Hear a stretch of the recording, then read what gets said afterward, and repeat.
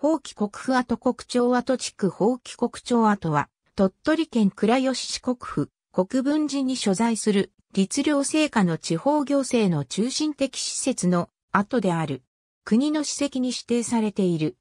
本国町跡は標高40メートルほどの丘陵に位置し、同一丘陵の東側には国分寺跡とホッケ寺畑遺跡がある。発掘調査は1969年に柱穴状の落ち込み群が確認されたことから始まった。柱穴群の状況から大規模遺跡の存在が予想され、1973年から1978年の間、6時にわたって行われた。発掘調査の結果、国庁跡と断定された。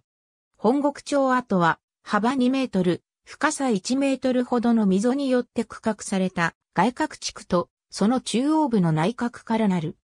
外角の広さは東西273メートル、南北227メートルの長方形で東辺に東西51メートル、南北245メートルの張り出し部が取り付く。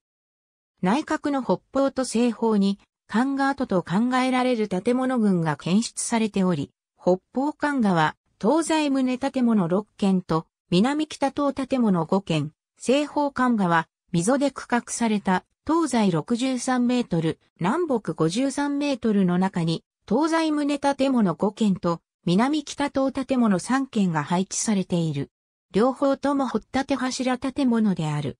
内閣の建物は8世紀後半から10世紀の間に4時期の変遷が認められる。外閣内は部分的発掘調査のため全体は不明である。ありがとうございます。